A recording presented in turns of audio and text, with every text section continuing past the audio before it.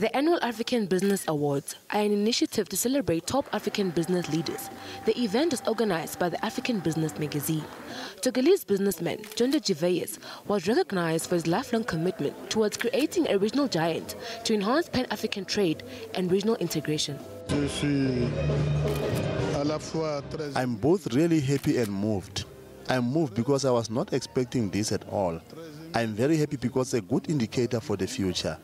It's a good symbol for African youth and for other young Africans who are trying to become entrepreneurs.